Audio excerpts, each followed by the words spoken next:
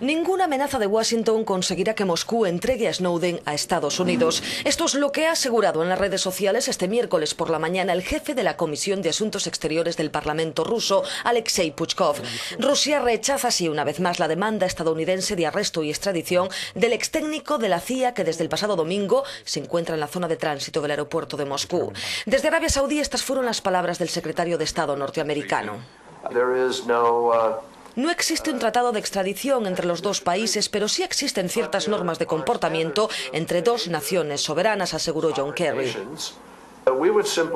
Pedimos simplemente a nuestros amigos en Rusia que respeten el hecho de que un país amigo, miembro permanente del Consejo de Seguridad, está realizando una demanda normal para que se cumpla la ley.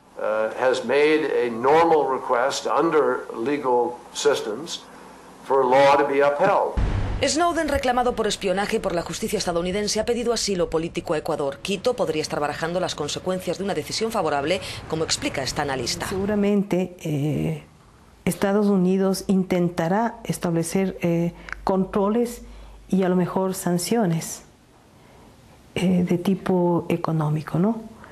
me da la impresión de que el gobierno ecuatoriano lo ha visto, lo considera el gobierno de Ecuador ha explicado que espera una información por escrito de Estados Unidos sobre la situación legal de Snowden. La solicitud se le evaluaría. Y eso es lo que hemos dicho.